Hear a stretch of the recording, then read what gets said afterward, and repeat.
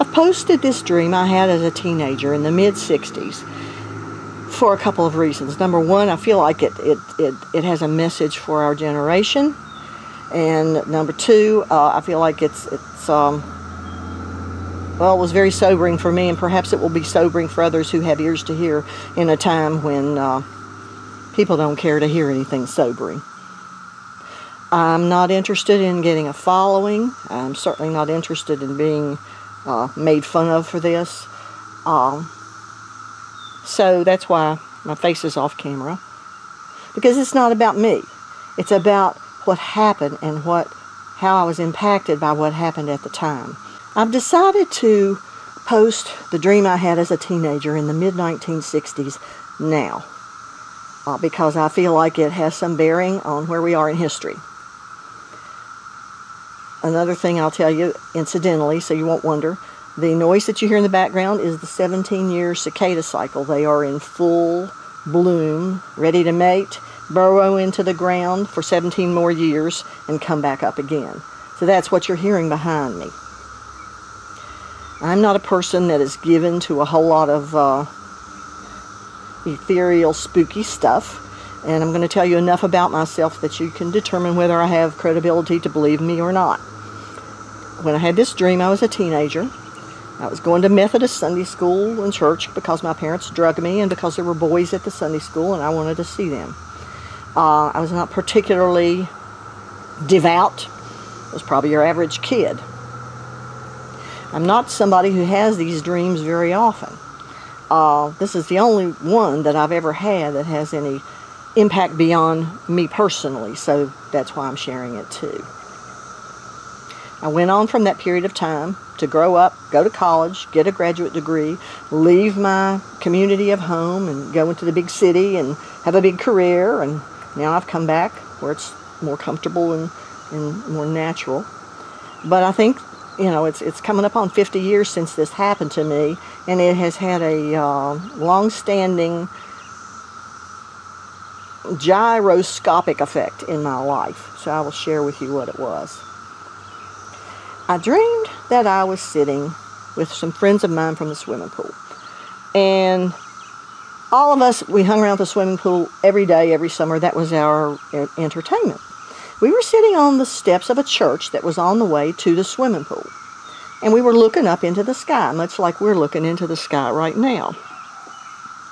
And my understanding in the dream was that the United States had launched this weather balloon or uh, security apparatus or some sort of a dome over the country and the nation, maybe beyond that, but I thought it was the United States, and that we were seeing the broadcast on the sky of what was happening so that anybody anywhere that was just out walking around could look up in the sky and see the broadcast of the launch. At the time, I remember thinking that the man that was announcing was Walter Cronkite because at the time he was a younger man and he was on the one of the three news channels. But in my dream, he was very, very old. So we're sitting there, all of us on these church steps, just watching the tube in the sky. And you know how when you're dreaming, you know I'm dreaming, you're dreaming along. This is a dream. I'm having a dream. Well, something happened that caused me to stop feeling that I was having a dream. The sensation came that it was no longer a dream. And as that sensation came, there was a split in that screen in the sky. And out of the split came these little fingers that were folding back around the square of where the screen was. The audio was gone, and you just saw these little fingers and began to see faces, and they were only what I could describe as cherubs little childish looking beings with little fat faces and fingers and big smiles on their faces. And beyond them was this golden city type thing shiny, lots of buildings, tall spires and stuff. By this time in my dream, I'm like, whoa, what's going on here? Because uh, I'm, I don't, I'm not dreaming anymore. What's happened? And the sensation was that it was over. It was done. It was over. And whatever had happened had changed everything forever. And one of these little beings looked down at me straight in my eye and said, Hi! You didn't think we were coming, did you? And I sat up in my bed and I couldn't breathe and I had a panic attack, which at the time I didn't know that's what it was. and uh, eventually got over it. But that dream has stayed with me all my life. Hi, you didn't think we were coming, did you? Well, I knew then, and I know now, that I was uh, seeing a version of the end of time. Not the end of the world, the end of time, when the Creator, our Master, would just fold stuff up, show up, straighten it up. And uh, in my dream, the most horrifying thing, and after I woke up, was it's too late. It's over. It's done. I don't have time. I don't have time to, to fix this. I don't have time to get right. I mean, whatever is, is just, it's done. It's up.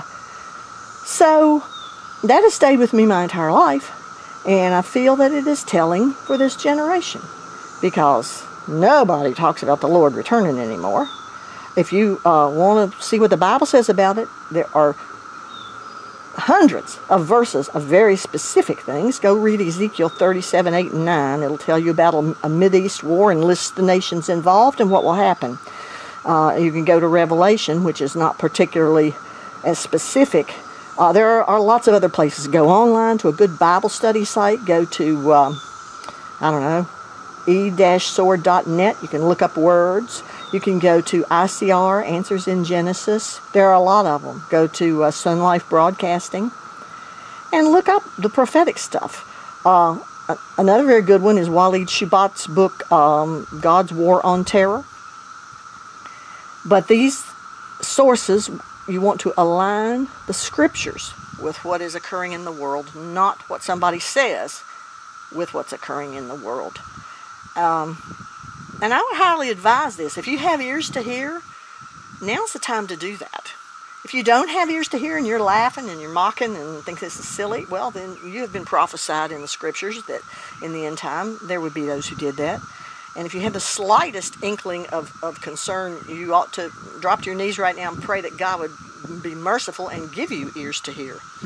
Because uh, it's quite likely that, that uh, this, this would occur in our lifetime. Uh, whenever it occurs, it will certainly be very final. That much I can tell you. So I hope you've enjoyed this. I hope it's given you some food for thought. Um, that's all I can tell you. Uh, other than the bottom line, Jesus Christ said, I am the way, the truth, and the life. No man cometh to the Father except by me. It's either true or it's not true. If it's not true, no biggie. If it is true, very, very, very important to make a conscious decision about it, not just to flip along and think everything's going to be fine. Thank you. I'm going to listen to the cicadas now.